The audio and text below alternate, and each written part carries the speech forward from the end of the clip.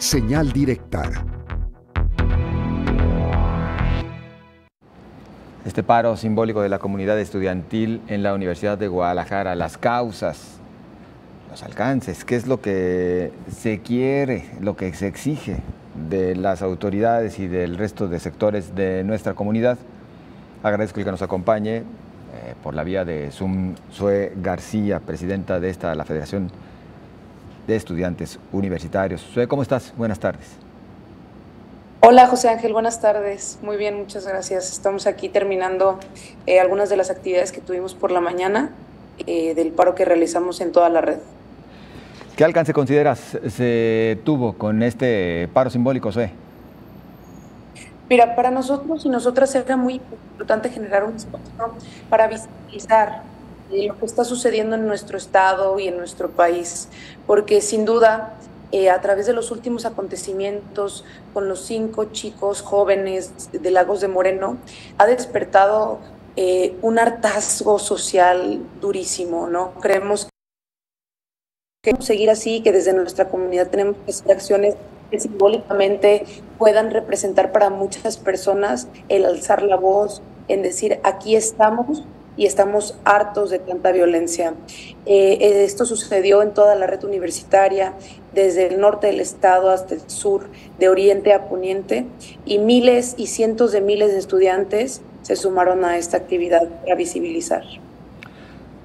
eh nos referimos a este caso más reciente de los cinco jóvenes de Lagos de Moreno, pero luego podemos voltear hacia atrás y recordar infinidad de casos en los que jóvenes han padecido o se han convertido en principales víctimas de esta violencia o que les desaparece o que provoca que pierdan sus eh, pertenencias o que esté en riesgo su vida de manera eh, permanente, porque podemos hablar de los estudiantes de cine o de aquellos que se han visto afectados en diferentes centros universitarios y sus alrededores por parte de la delincuencia eh, común. La pregunta es, ¿cómo responde la autoridad ante esta situación que hoy lamentablemente se padece en materia de seguridad o inseguridad?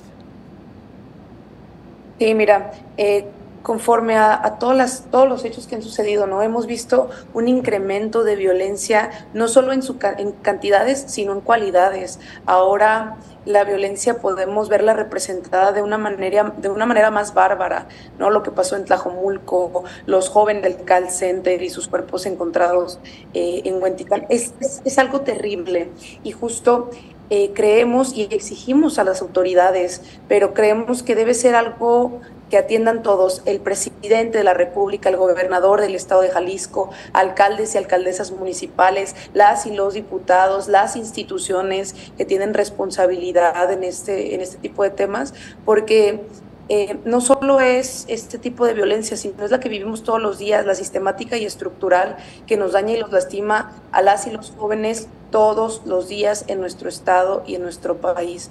Por eso eh, intentamos a través de este paro visibilizarlo, porque eh, para nosotros y nosotras es importante que existan estos espacios de reflexión, porque si bien yo reconozco que no soy una científica social o que no soy una experta en materia de seguridad, que tenga eh, todas las respuestas acerca de lo que se tiene que hacer, pero sí muchas personas, investigadores, investigadoras, expertos, ¿no? Que han dado ruta de lo que tendría que suceder en el Estado y en el país para que mejoren las condiciones, porque algo platicábamos hace rato en las reflexiones y es que somos la generación que ha crecido en la guerra contra el narco, somos la generación que ha normalizado esta violencia de todos los días, que normalizamos que tenemos que compartirles a nuestros papás dónde estamos todo el tiempo, compartir nuestras ubicaciones, eh, mandar antes de salir em, cómo vamos vestidos o vestidas, en caso de que seamos nosotras o nosotros, pues nos puedan saber cómo buscar, los que comparten fichas de desaparecidos y desaparecidas en sus redes, quienes lloran a quienes perdemos.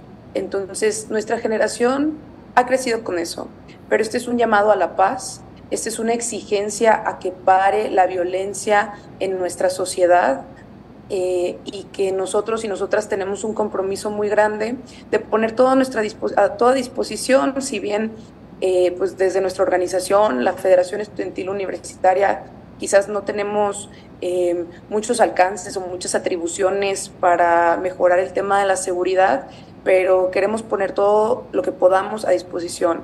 Eh, chicos y chicas que estudian distintas carreras, eh, todo lo que podamos, todos nuestros esfuerzos para abonarle a construir una sociedad cada vez mejor y más habitable para las nuevas generaciones. Esta disposición de los jóvenes particularmente los estudiantes de, la Universidad de Guadalajara, me parece que es importantísima en los momentos que estamos viviendo en nuestro país, como ya lo hemos venido advirtiendo, de extrema violencia y de cómo esta violencia la hemos vuelto parte de nuestra vida como si fuera normal. Tenemos que cambiar el chip y por supuesto que mucho está eh, en lo que ustedes desde, desde sus espacios puedan hacer para que realmente se comience a, promover una cultura de paz. En ese sentido, ¿dónde están las áreas de oportunidad? ¿Cómo podemos hacer este cambio de chip, reitero, eh, eh, en momentos tan violentos para nuestro país? Sí, algo que quiero decir, eh, de hecho, es una de las cosas con las que comencé mis intervenciones el día de hoy, y es que la vida no puede seguir normal si la normalidad es pura violencia. Entonces, el paro que hicimos hoy en la mañana en la red universitaria también sucederá a las 4 de la tarde, pero es el primer eh, o la primera actividad que como organización eh, comenzamos a hacer eh, para hacer una agenda de construcción de paz, porque nos queda claro que tiene que ser un, esfuerzo integral, transversal, donde todas y todos podamos aportar a construir esta, esta sociedad que soñamos y esa sociedad que nos merecemos. Entonces, eh, seguiremos nosotras y nosotros convocando a más acciones, a más actividades durante la semana para que estén pendientes de nuestras redes y les compartimos también en lo particular para que para que eh, las y los jaliscienses, porque este es un llamado no solo a la comunidad universitaria, sino también a la sociedad civil, para que se puedan sumar a todas estas acciones que tenemos que construir para generar espacios mucho más habitables para todas las personas en nuestro estado y en nuestro país. Queremos que este llamado no solo sea para la sociedad civil jalisciense, sino que sea para toda la sociedad mexicana eh, y que pueda significar un despertar de una vez por todas eh, con este mensaje de sí basta a la violencia, pero también eh, de construcción de la paz. Y porque el mensaje claro, contundente que queremos dar a las autoridades, a la sociedad y a todas las personas es queremos paz. Eh, también te comparto que eh, el próximo viernes eh, tendremos una reunión con el alcalde municipal de Guadalajara para reforzar algunos términos de seguridad en las escuelas del municipio. Seguimos trabajando, hoy siguió el programa de senderos seguros en Cux, USEA y Prepa 8. Entonces, a través de todo lo que podamos hacer, de las presiones a los gobiernos municipales, de la colaboración, ¿no? del trabajo conjunto que podamos generar, este, seguiremos construyendo y claro que sí, con muchas acciones al interior de nuestra comunidad universitaria, específicamente las y los estudiantes. conforme la información que reciben ustedes en la Federación de Estudiantes Universitarios, ¿cuáles son las zonas, hablando del área metropolitana de Guadalajara, y las regiones de Jalisco donde el estudiantado enfrenta mayores riesgos, mayor inseguridad? Pues mira, en las preparatorias, al menos de la, de la zona metropolitana, podríamos hablar de algunos espacios en Tlajomulco, podríamos hablar de espacios específicos en Guadalajara, hay alguna, eh, alguna mayor cantidad de incidencia delictiva alrededor de preparatorias como la preparatoria número 4, la preparatoria número 18, y en las regiones, pues la verdad es que hay zonas eh, muy complicadas, ¿no? Incluso la labor que hacemos desde la organización pues se ve eh, complejizada, ¿no? Porque tenemos que estar movilizándonos a las regiones y de repente eh, llegar a espacios en la Ciénega, hacia Colotlán, hacia algunos otros municipios, pues este, sí, sí se siente eh, el síntoma de la violencia que se vive.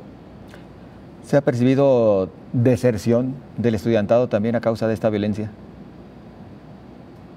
Pues seguramente debe de haber muchos espacios donde eh, desde las comunidades, más que nada, eh, las y los estudiantes pues decidan dejar de estudiar, pero será algo que tendremos que también seguir estudiando. Zoe, nos mencionabas que este fue un primer esfuerzo en esta demanda que tendrá que volverse constante, esta demanda de paz. ¿Qué viene eh, por delante? ¿Otras tantas eh, manifestaciones similares? Sí, claro, tendremos que sumarnos a, manifestaciones que sean, es que manifestarse es de distintas maneras, ¿no? Algunas pueden ser simbólicas, otras pueden ser o verse más materializadas eh, en las calles, con marchas. De principio, me gustaría anunciar que la FEU se va a solidarizar y acompañar la marcha que convoca, eh, que convocan distintos colectivos y colectivas, madres y padres de desaparecidas y desaparecidos para el 30 de agosto, porque entendemos que desde nuestra comunidad siendo estudiantes, debemos de solidarizarnos y de acompañar a las familias. Entonces nos sumaremos a esa convocatoria y una serie de convocatorias más que, que iremos generando a través de, de la semana. Habrá quien se le venga la idea de que se trata más bien de actos ya de índole política o como que tienen alguna intención más de carácter político. ¿Qué les responderías? A mí me parece que rebajar eh, todo este malestar a decir que es un golpeteo político es deshumanizar lo que está sucediendo. Eh, es una indignación sumamente natural, es una indignación que surge este, pues desde vernos reflejados, o sea, muchos compañeros y compañeras nos vemos en los jóvenes que ahora no están.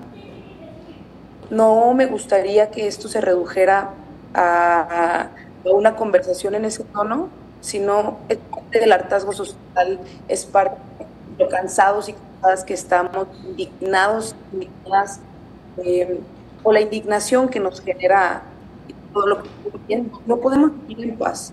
Y, nuestra solicitud es esa, es queremos paz, no estamos hablando eh, en términos de otros sentidos, queremos tranquilidad para nuestras amigas, nuestros amigos y nuestras familias. Es decir, no tiene dedicatoria política, no se está hablando de colores, se está hablando de esa realidad que se, se vive, ¿no? que se enfrenta y que, que debe de tener una solución. Sí, claro. Sue, pues agradecidos y seguimos seguramente en comunicación, muy amable. Muchas gracias por el espacio, Ángel. Hombre, gracias a ti por acompañarnos, muy amable.